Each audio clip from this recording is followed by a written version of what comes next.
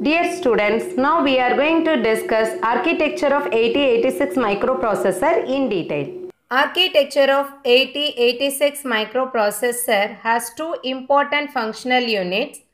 One is bus interface unit, simply BIU, execution unit EU. So this is the architecture diagram of 8086 microprocessor. There are two functional areas BIU and EU. The bus interface unit consists of the address summer, segment registers, instruction pointer, instruction queue, B bus, C bus. So here the bus represents the connection lines which are mainly used to connect the internal components of this microprocessor. In 8086 there are four segment registers. They are extra segment, code segment, stack segment and data segment. This one is instruction pointer. This instruction pointer is a 16-bit register which is used to point the next instruction to be executed. That's why it is called as instruction pointer. The instruction queue is very very important one in this BIU because to speed up the program execution, the bus interface unit fetches the six instruction from the memory locations and store in this instruction queue. It follows the first in first out principle. Okay.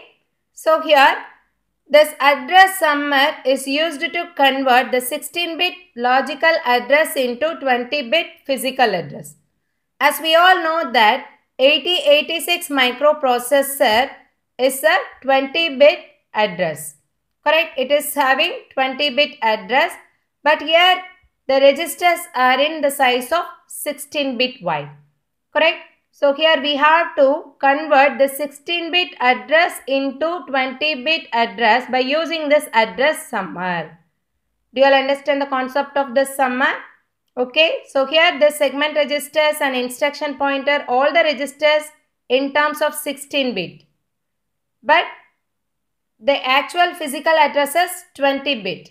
So we have to convert the 16-bit logic address into 20-bit physical address by using this address summer. Okay, so the segment register along with this pointer and index registers we can generate this 20-bit address. Do you all understand this concept? Okay, so next come to this execution unit. This execution unit consists of the general purpose register. Eight general purpose registers are there that is AHAL, BHBL, CHCL, DHDL.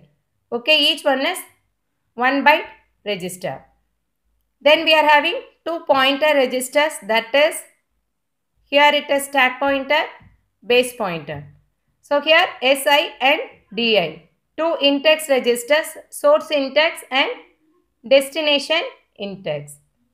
Here ALU, it is very important one in this execution part because it is going to perform arithmetic operations and logical operations on the given data and the output is given to this data bus to send it to the output port correct? So then the operands and flags are given to this registers. The flag registers are mainly used to identify the status of that output. That is the conditional level of that output. The BIU and execution unit can work simultaneously to increase the system speed and throughput Throughput means the number of instructions executed per clock cycle. That is called as throughput. Do you all understand? So we can discuss each component in detail here. Bus interface unit. It is having the components instruction queue, segment register, address summer, bus logic circuit. This bus logic circuit is responsible for performing all bus related operation. Bus related operation means connecting the devices. Okay. So next important functions of this BIU. It sends address of the memory as well as input output ports. It fetches instructions from memory and it reads writes data from or into that memory as well as input output port. It supports instruction queuing and provides address relocation facility. Okay, so this address relocation facility is very important in case of jump instruction and call instructions. Okay, so next one is instruction queue. So in order to speed up the program execution, the bus interface unit fetches six first instructions bytes from the memory and stores in the instruction queue. To fetch the next instruction when the current instruction is execution, it is called as pipelining process. Here we are going to use that concept pipelining. So we can easily fetch the next instruction while the current instruction is in execution through this instruction queue. The queue operates on the principle of FI, FO that is first in, first out. That execution unit gets the instruction in the order they are fetched. So here in the instruction queue we are storing in the proper order. So that execution unit can get the instructions one by one in a proper way. Okay. In case of jump and call instructions, the instruction queue is newly formed by loading the instruction from new address specified by the jump call instruction. So next segment registers. Here the physical address of 8086 processor is 20 bit wide. So we can access 2 power 20 that is 1 megabyte memory location. It is a very large amount of memory location is available in the memories, right? So here we are going to segment that memory locations like this. That is 64K each. So first one is extra segment, stack segment, data segment, code segment. Okay, that overall physical size is 1 megabyte. We are going to segment into 4 categories. We are going to store all the data related details in this data segment. And instructions that program instructions can be stored in this code segment. Extra segment additionally we can use it okay? So this all are the memory segmentation process okay? Here the logical address is 16 bit wide logical address means that physical memory stored okay? So what data we are stored in that memory space is logical address. But that physical address of the 8086 processor is 20 bit because it is having 20 address lines okay? Here code segment is used for addressing the executable program instructions. Data segment is used to store the data used by the program okay so whichever data is involved in that processor all the data are stored in this data all the instructions okay so program instructions are stored in this code segment stack segment it is mainly used to handle the memory to store data and addresses during execution. So in a stack means in a proper order. So extra segment, it is an additional data segment used by the string operations. Okay, string manipulation, we can use this extra segment. Instruction pointer is a 16-bit register used to hold the address of the next instruction to be executed. So we can easily access the next instruction from the instruction queue using this instruction pointer. Next we are going to discuss the execution unit EU. It consists of the following components control circuitry, arithmetic logic circuit, flag register, general purpose registers, pointers and index registers. So the major functions of this execution units are given here. It tells the bus interface unit from where to fetch the instructions or data. So all that instructions are given by this execution unit to that bus interface unit. It decodes instructions and executes that instruction. The control circuitry directs and controls the internal operations. The decoder translates the instruction into a series of actions to be performed in the processor. Okay. Arithmetic logic unit simply we can say ALU. It performs all arithmetic and logical operations in the microprocessor. Arithmetic operation means addition, subtraction, division, multiplication and modulo operation. Here it is modulo operation and logical operation means and or not. This are the logical operation. So all arithmetic and logical operations can be done in this arithmetic logic unit. So next one is flag registers. So this register is mainly used to analyze the status of the output signal okay from that arithmetic logic unit. So here this flag register is a 16 bit register but we are going to have only 9 flags in this 8086 processor. The remaining 7 bits are simply defined as undefined. U represents what? Undefined. So there is no values. Okay. So here we are having 9 flags. This is the diagrammatic representation of the 16-bit flag register. So these 9 flags are classified into two types. One is conditional flags. These flags are available in 8085 microprocessor also. Okay.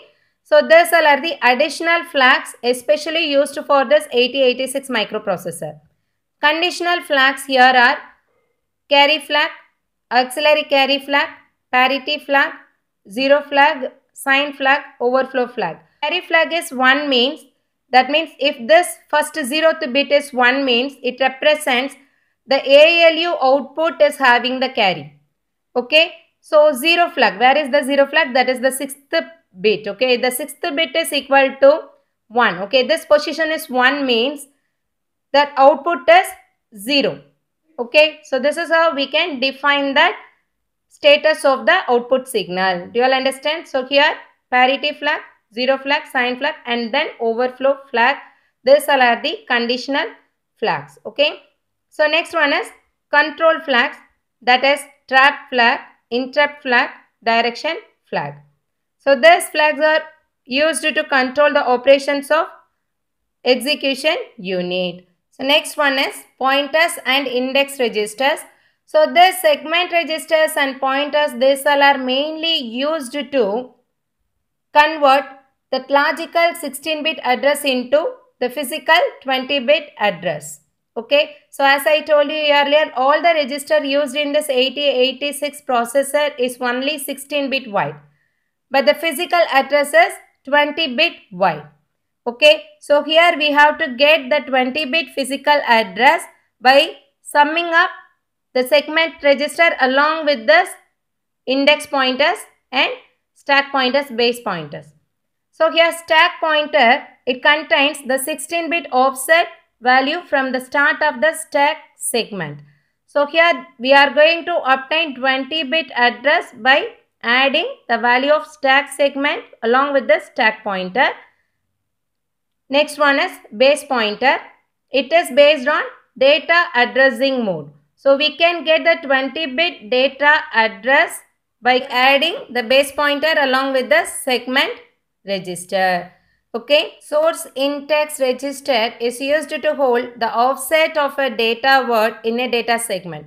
So we can obtain 20-bit address for the data segment by adding the source index with this data segment. Destination index register is mainly used in string manipulation operation. String instructions use extra segment and the eh, destination index to calculate the 20-bit address. So next one is general purpose registers. These registers are very very important in execution unit because in microprocessor all data that is operands are stored in uh, registers. Then it is processed. Finally the result will also be stored in that registers. So these registers are widely used in that execution unit. There are 8 general purpose registers that is AHAL, BHBL, CHCL, DHDL. These all are 8-bit registers. We can combine these two registers together to make it as a 16-bit registers. Okay, if you want to store 16-bit data, we can use these two registers together as a pair. So here we can have four pairs of registers that is AX register which is having both AH and AL. So it is called as accumulator register. It is mainly used to store the operands for arithmetic logic unit operations.